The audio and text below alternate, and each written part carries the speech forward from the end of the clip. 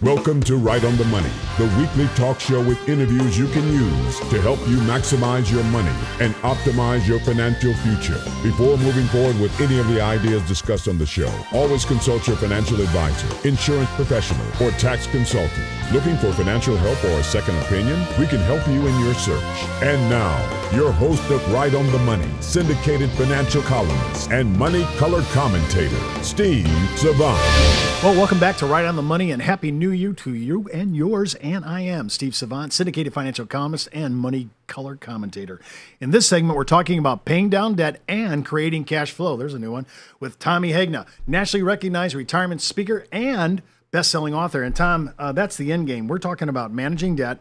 I don't see the world doing this. I don't see our U.S. government or states doing this, but we have to do it. We have to for yeah, our family. Absolutely. So I'm looking at this. Our president, Andrew Jackson, the twenty dollar bill, right? I think that's the one they're trying Yep. to change, right? The cover of the, Right. the. He says when you get in debt, you become a slave. You think that's too strong? No, Well, I mean, look, it's like I said in the last segment. If you use debt wisely, but Mm-hmm. most people do become slaves to debt because they they don't they don't manage it. It's too Mm-hmm. easy. It's too easy to spend it now. All you're doing is taking from your future and spending it today. And if you take all your future and you spend it today, what is your future going to be? It's going to Mm-hmm. be much reduced. And they forget about the reduction of the future. They like spending it today. Well, think about it. We're talking about the. I just told Andrew Jackson, President. And how about President Thomas Jefferson? He said, "Never spend money before you have it." Right. Again, cash is king, and you should pay cash for things. Don't use those credit cards. Those credit cards can can can. You got to be very disciplined. Very disciplined. I think when we talk, look about this, we're trying to come to a place where we don't become indentured servants to debt. That's really the bottom line. Right. And so, well, our goal is we want our families to be prosperous. We want America to be prosperous. We do. And we just have to get a handle on our debt. Now, maybe it's going to be reversed. Maybe the consumer is going to show the way to the government at the state level and the federal level to show the way, the, be an example. And that's one of the goals. I mean, I saw one of Dave Ramsey's burning mortgages online. Right. I mean, getting out of debt. Can you imagine being four? The last one I saw, I think, was like 44 years old, and he doesn't have a mortgage anymore. Right. How happy is that family? Well, they're happy. I mean, I've I've not had a mortgage for quite a few years, and I'm happy about it. Um, you know, getting out of debt is is so important. Uh, look, there's some ways to get out of debt. Like if you're in debt, there's there's some different strategies. And you quoted Dave Ramsey, and you know. I, I say I, I agree with about 85% of what Dave Ramsey says, and I'm all for what he says about getting out of debt. Mm-hmm. He doesn't really understand some financial products fully, but mm-hmm. he does understand debt, all right? Because I, I think he did mm-hmm. go bankrupt or he had, he had financial problems. But look, there's a several strategies. So one of the strategies, Steve, is you start with the highest interest rate. So if you got five credit cards and one's paying 14, one's 15, 16, and you got two that are 21, you might want to start with those 21 percenters and pay off the highest interest rate first. There's another strategy that says pay the smallest debt first. And you'd say, well, why would you want to do that? Well, because each of these come with a minimum payment. And as you can start knocking off um, the, the, the, the number of minimum payments, you can add more to your other So if you can start, let's say you got two that are really small and one that's really big, kn- knock those two out first and then really attack that bigger one. Okay, and again, our whole reason for doing it is not only getting out of debt, but we're trying to create cash flow so that we can start saving vehicles, which we're going to talk in the next segment. Now, when I'm talking about sometimes, like you said, which one are you going to do first? You need to look at both sides of the equation. Right. And I like to see what kind of cash flow I can develop almost from the get go, if it's possible. Right. Now, when I'm thinking about this, I'm looking. I'm looking at my savings accounts. You know, we talked about this in the last segment. The traditional thinking was 90 days. Now we're trying to create six months of savings, not just 90 days, six months. And to your point, I think I'm looking at the new strategy of trying to buy, like you, you said, you bought your truck. I, it wasn't new. No. And we, so we're looking at new strategies all the time to see if we can buy, well, maybe not an appreciating truck, but one that we've already down, it's already discounted and we're paying a less price for it. Right. On depreciating assets, you want to pay as little as possible. Mm-hmm. You want to get the best value, mm-hmm. okay? On appreciating assets, again, you want to you want to buy when it's low and, and you want to sell when it's high. Mm-hmm. Um, but another strategy for paying off debt would be, you know, just simply pay off more than the minimum. If the minimum is 75 bucks a month, send in 100, send in 150, send in 125. I think Dave Ramsey kind of came up with this thing called snowballing. And snowballing is a way that what you do is you pay you pay the minimums on most of them and you attack one of them all right, with mm-hmm. with a lot extra, and you and you just pour extra money in there. Once that's done, you then move on to the next one, and you pay more on on that one. And so what you're doing is, mm-hmm. as you pay them off, you're snowballing so that you got more and more and more of your assets focused on fewer and fewer debts. Now the key is you got to stop using that credit card. Right. You can't pay off this one and then run one up over here. And unfortunately, that's what happens to a lot of people. They pay off this one, but they're running up this one, and then they pay this one. It's like kind of like whack a mole. You know, they're trying to mm-hmm. whack a mole. You've got to stop the spending. Well, there are people- reduce the spending. There are people that are into their personal Ponzi schemes. I mean, doing exactly what you just said. They pay this one down, that looks great. FICO score goes up for a few days, you know, a few months, and then they're back over on another card. And by the way, I gotta tell you, I cannot tell you all my life how many cards I get invited to join with every oh, year. Oh yeah, I, I shred them all. I put those in the shredder. You, you know, I look. I carry several credit cards. I pay the balance off mm-hmm. every single month. I never carry a balance on a mm-hmm. credit card. I pay it off every single month.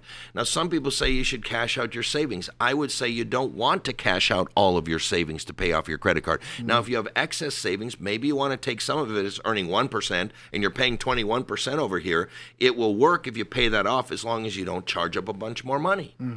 Some people have an emergency fund of six months and they say, well, look, if I took that and paid off a credit card, my credit card line of credit could be my emergency fund.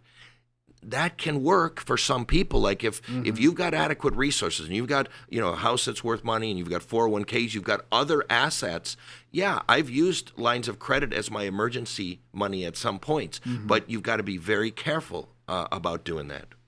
Well, what about this thing? I've heard, I've seen talk. I've heard you talk about borrowing from. Now, most people have life insurance, maybe not cash value life insurance, but Yeah. for people who do have cash value life life insurance, that interest rate's pretty low. Yeah, and you can borrow from your life insurance policy. You know, there's this whole thing out there, bank on yourself, you know, bankonyourself.com. And what that is, is you just buy a bunch of whole life insurance and, and then you've got adequate resources that you can always borrow from yourself. And that you don't ever have to go to a bank, you don't ever have to go to a credit card, uh, credit company. You can always just do it yourself with your with your life insurance policy. pretty low, pretty low number.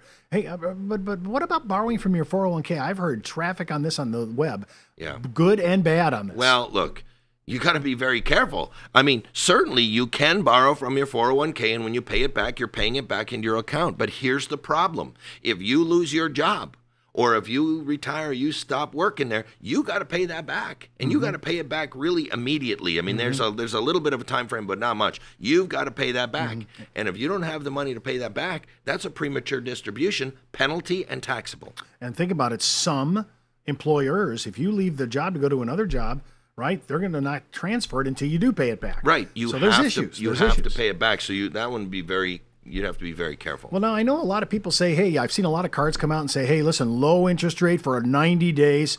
Sometimes that could be an arbitrage way to pay down your debt if you really dedicate it for 90 days to play. What do you Absolutely. You can you can transfer to a, to another card, get a low interest rate for 60, 90, Mm-hmm. 120 days. But again, are you going to be disciplined not Mm-hmm. to start charging up somewhere else?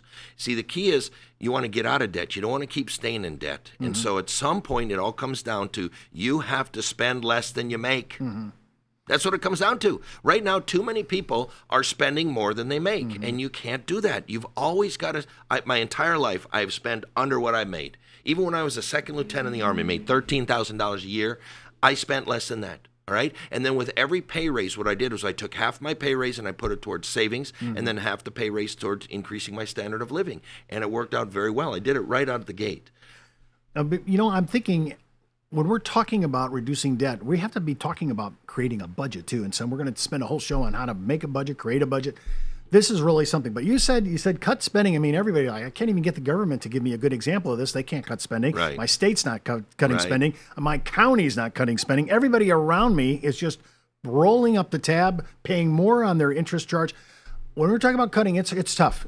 If you've had a certain lifestyle living off plastic, it's tough to migrate over to good budget habits.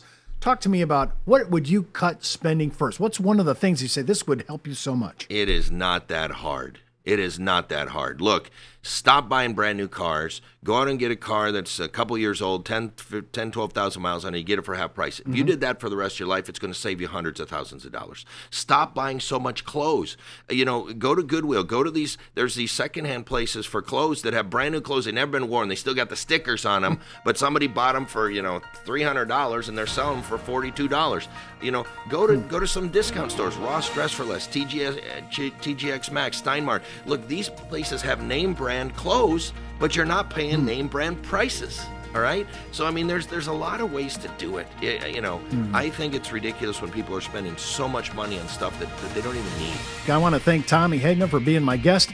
But before I go, remember what the good Reverend John Wesley once said: "Make all you can, give all you can, save all you can." I'm Steve Savant. We'll see you next week right here on Right on the Money. For more information on this week's money topics, just go to our website at www.rightonthemoneyshow.com and follow Steve's daily postings on Facebook, Twitter, and LinkedIn. When it comes to retirement, money management, small business, insurance coverage, college funding, or budgeting, we have the interviews you can use.